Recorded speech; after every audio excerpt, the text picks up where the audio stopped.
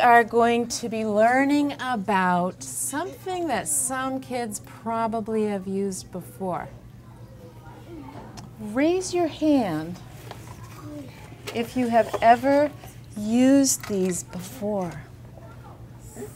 Hands up if you've ever used these before.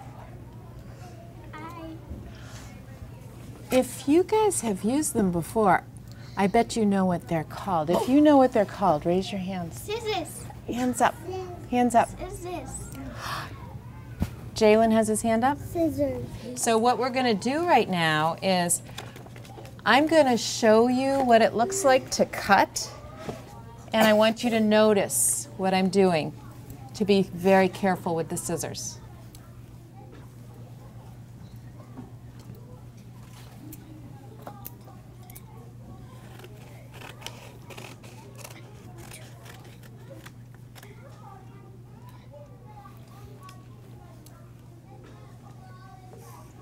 Abdul Rahman, Just kind of like gently. how was I using them carefully? Mariella?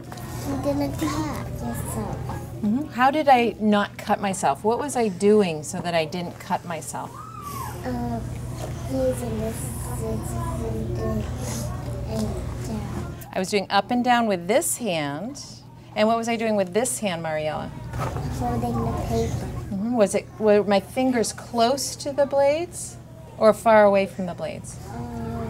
It was far away.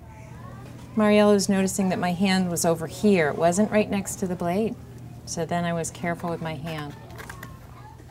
Claudia, show us what it looks like to cut carefully with the scissors. Sometimes it's hard to know how to hold the scissors. Claudia, I'm going to help you by turning the scissors around so that you can put your thumb in the little hole. Let's see, Claudia. Cutting carefully with the scissors. Notice what she's doing with her hands. Jalen, take a look and see. Okay, Claudia, put the scissors down now and the paper too. And raise your hands if you noticed something about how she was cutting carefully with the scissors. Jalen, what did you notice? She wasn't cutting her hand on purpose. Mm-hmm. We're going to have a chance now for everybody to try using scissors safely. I have a job that I need some help with, which is that we have all this really nice paper that we need to cut up into shapes for our arts and crafts. So who's ready to carry a pair of scissors carefully over to a table and sit down with a piece of paper and start cutting? Everybody's holding your thumb up.